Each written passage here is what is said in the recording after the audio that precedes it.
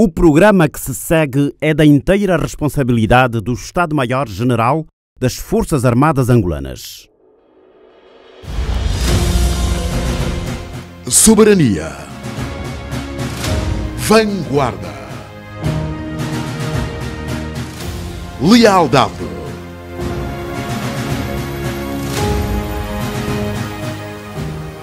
Baluarte.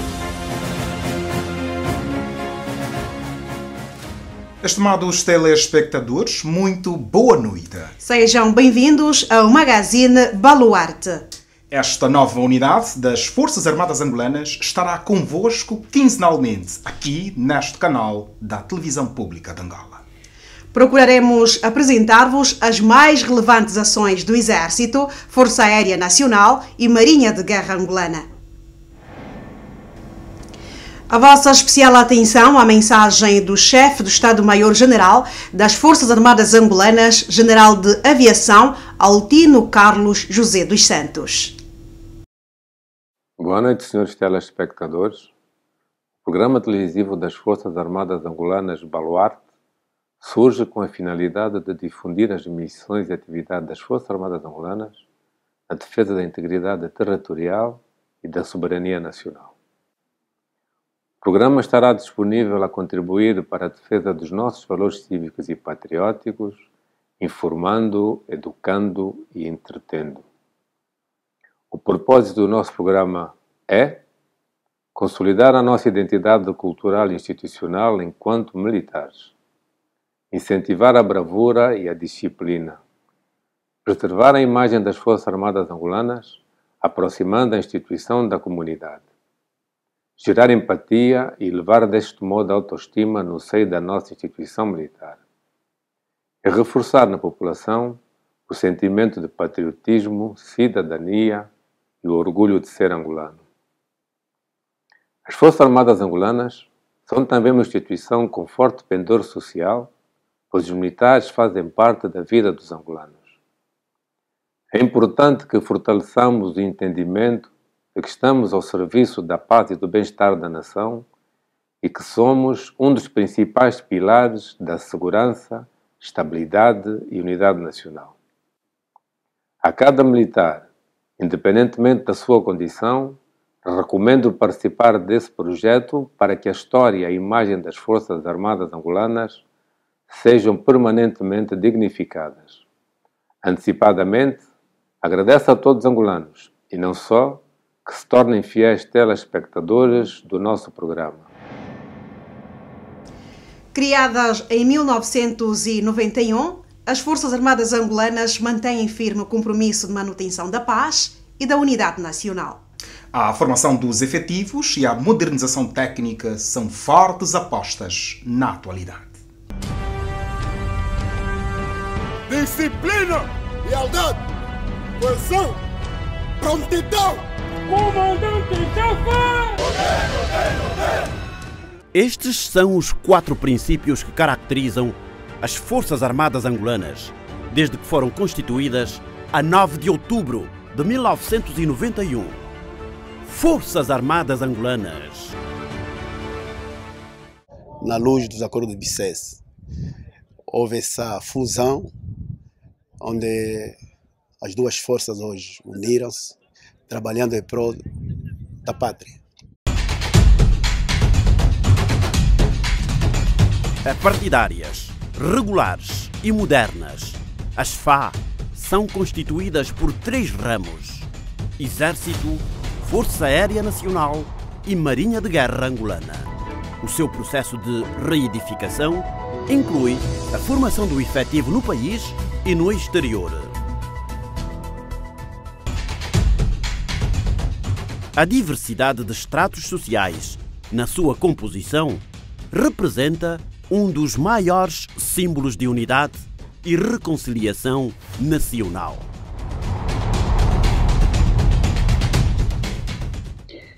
Inicialmente eu entrei como brigadeiro, com a patente de brigadeiro,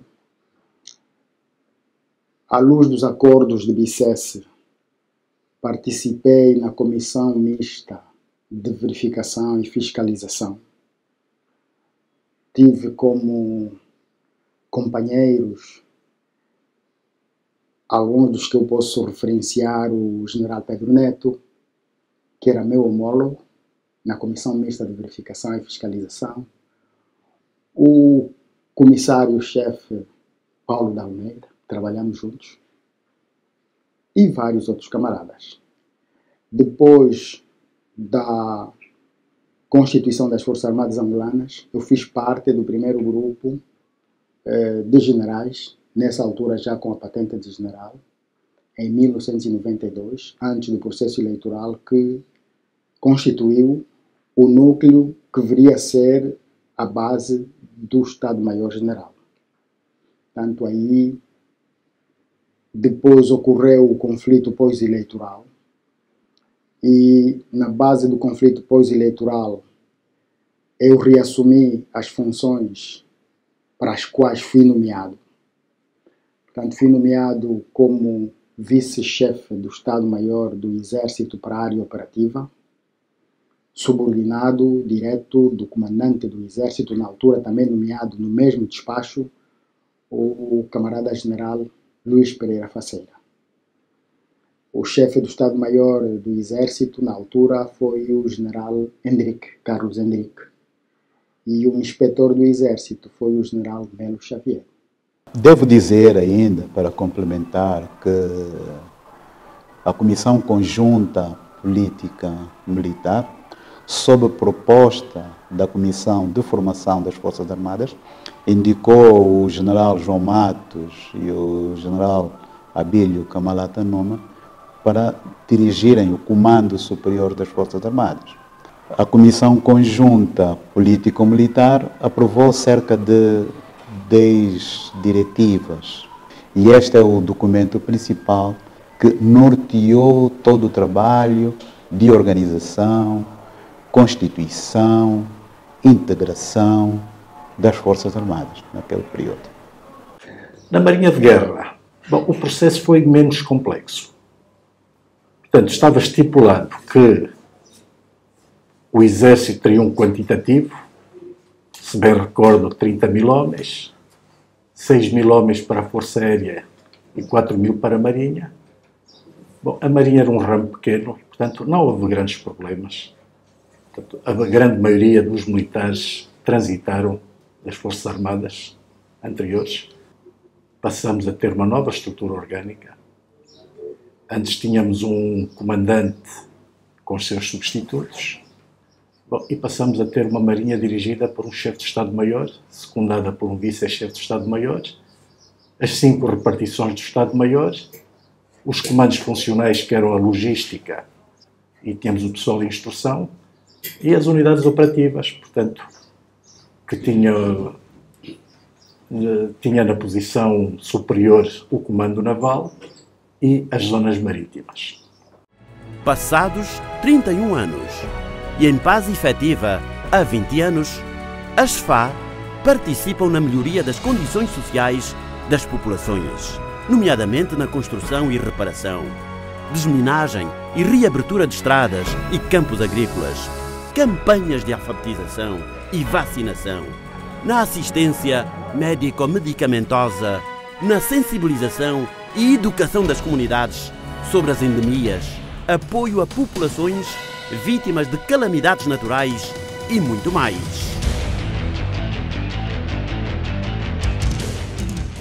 Forças Armadas Angolanas, firmes perante os desafios do presente e do futuro. Trazemos breves notas sobre as Forças Armadas Angolanas e o seu importante papel.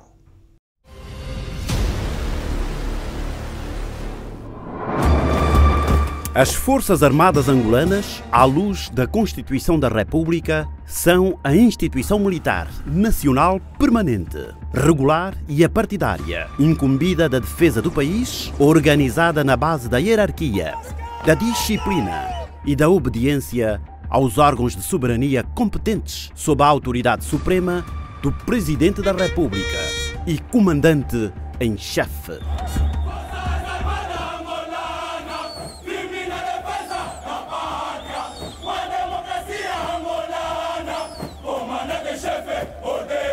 As Forças Armadas Angolanas compõem-se exclusivamente de cidadãos angolanos e a sua organização é única para todo o território nacional.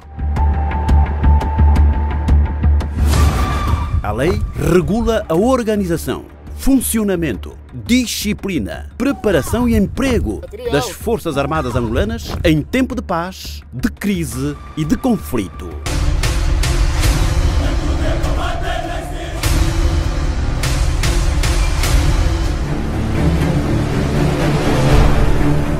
A disciplina, a hierarquia e o comando único são os esteios das Forças Armadas Angolanas.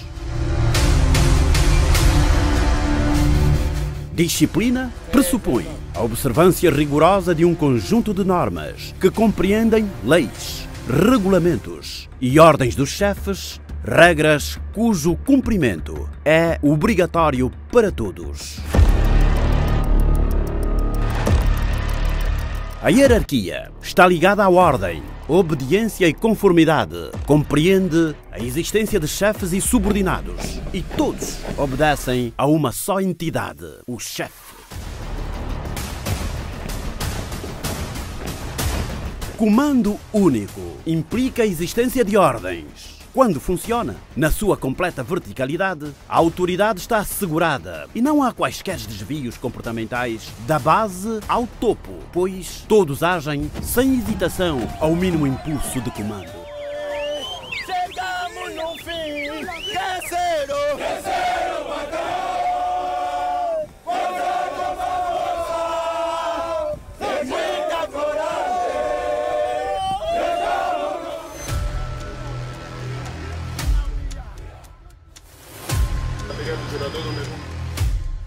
As normas da disciplina militar estabelecem um conjunto de requisitos e o princípio da obediência é a manifestação maior da disciplina militar e uma das bases fundamentais da sua edificação. Perante a pátria e o governo de Angola, ser oficial de educação patriótica honesto, disciplinado e vigilante, guardar no mais rigoroso sigilo os segredos militares e do Estado, cumprir incondicionalmente os regulamentos militares e as ordens superiores. Comprometo-me.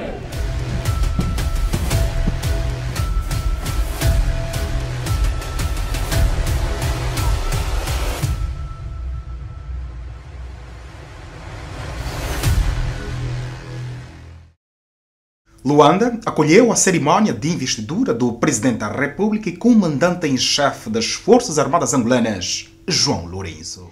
Trazemos algumas imagens do memorável desfile com que as Forças Armadas Angolanas brindaram os presentes.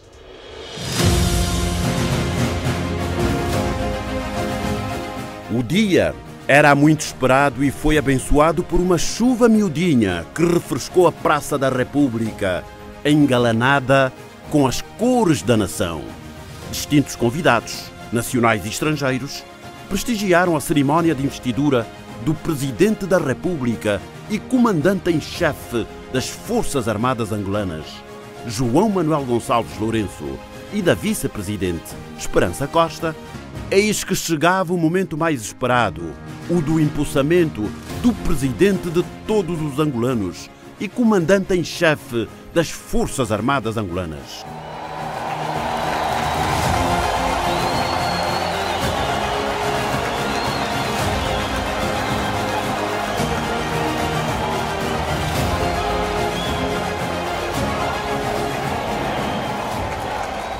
A defesa da nossa integridade territorial, da nossa soberania e da ordem pública interna é sagrada para um país como Angola, que viveu décadas de conflito armado, alcançou a paz e a estabilidade há 20 anos e pretende preservá-las a todo custo. Encontraremos as melhores soluções de financiamento para o reequipamento e modernização das Forças Armadas angolanas, para as colocar ao nível do prestígio granjeado ao longo dos anos.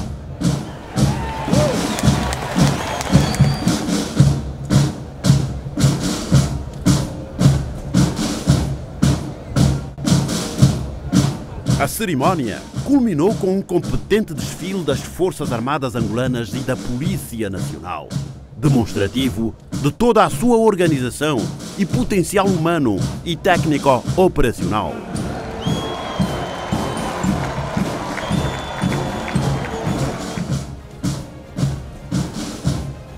Saudados efusivamente pela população, desfilaram de forma cadenciada e organizada 17 blocos constituídos pelos três ramos das Forças Armadas Angolanas e da Polícia Nacional Angolana, preparados para operações terrestres, marítimas e aéreas.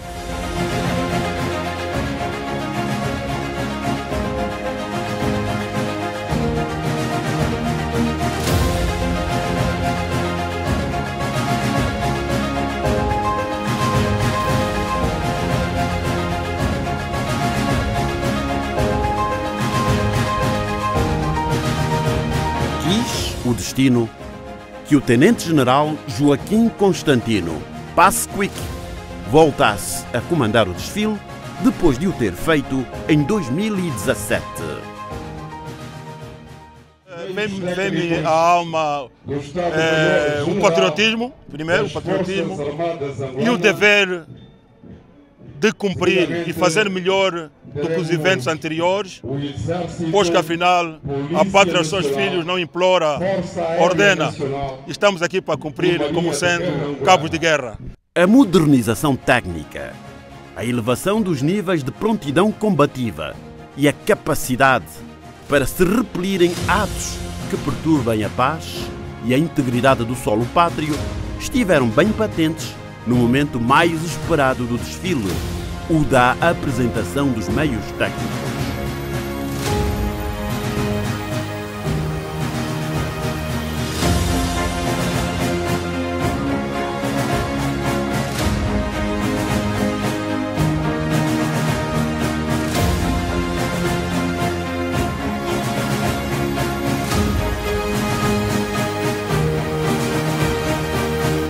Maior desfile militar jamais visto numa investidura presidencial em Angola.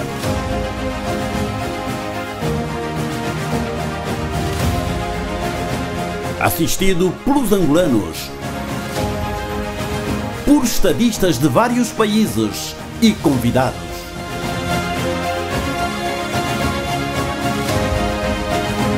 Forças e meios demonstram a elevada prontidão operativa, combativa e educativo-patriótica inteiramente ao serviço da pátria.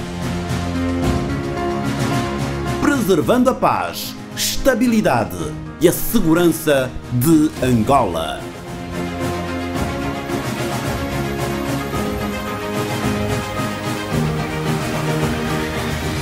Os militares das Forças Armadas Angolanas estão sempre preparados e prontos para intervir em nome dos ideais do patriotismo pelos quais integram as fileiras do exército angolano.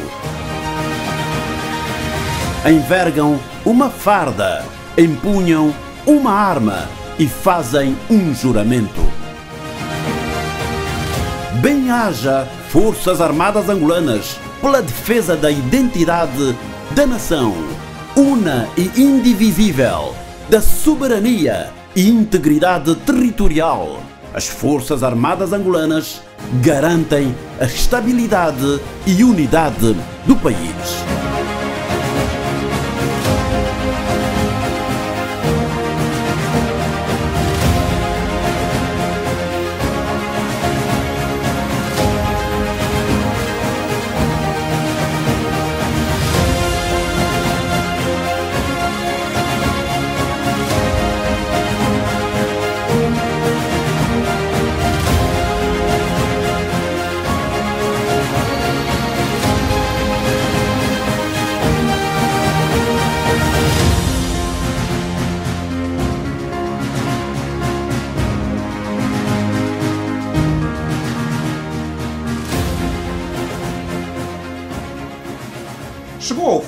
primeira edição do magazine Baluarte. Obrigada pela vossa companhia e até o próximo encontro. Boa, Boa noite. noite. Soberania. Vanguarda. Lealdade.